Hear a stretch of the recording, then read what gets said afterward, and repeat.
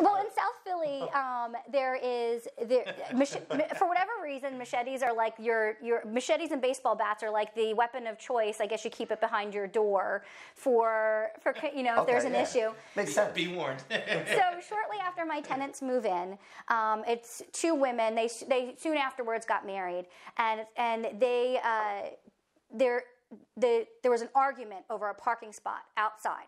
Um, a 70 year old man and like a 40 or 50 year old guy. And the 70 year old guy tosses his coffee in the younger guy's face, you know, because he, cause he scraped his car in the parking, getting into the parking spot, and he always does that. And then the younger guy, the 40, 50 year old guy, goes home, grabs a machete, and starts swinging it around. And then the older guy, like, went to block his head, um, and the guy cut through, cut off two of his fingers that were still connected right here. And then Real cut- estate stories. and then and then cut his the, the old guy's head. So then the old guy gets the young guy down on the ground and starts pummeling him um, with his bloody stump uh, of a hand.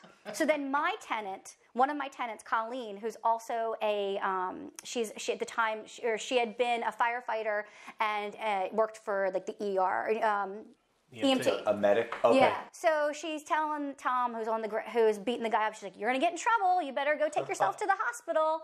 And um, and then the uh, after he left, I think I'm pretty sure Colleen's the one who picked up his fingers and gave them to the police officer to um, to make sure that they got to Tom. So they could use them again. Yeah, so they right? could In time. reattach. Okay. Um, so I had heard this from another neighbor. I didn't know who what picked up the fingers or anything like that. Uh, my neighbor had texted me and said, "Oh my God, did you hear about the machete story?" And I said, "No." And then I ran into my tenants a couple of weeks later at our local bar, Bomb Bombs. It's amazing. Um, and they, uh, I said, I thought that they were going to call me to try to get out of their lease because they had just moved in. So I'm like, I see that, I'm like, oh shit, they're going to ask to leave. I'm never going to be able to rent this place again because of this.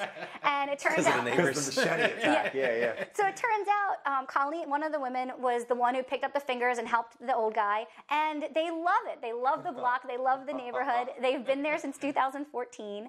So is Um, that on applications? That could be a system. like, it's on, how do you feel about? Are you willing to? Yeah, yeah. Yeah. So um, ever since having them, they've they've been very rewarding. Um, uh, Colleen's in the in the Philadelphia Fire Department, and then we bought another house together where we have another couple. Um, where other uh, one of the other tenants is also in the fire department. So we've been really lucky in having good tenants, but we pick um, we purposely under rent our properties so that we have multiple applicants to choose from. So we can just go with whoever feels the best.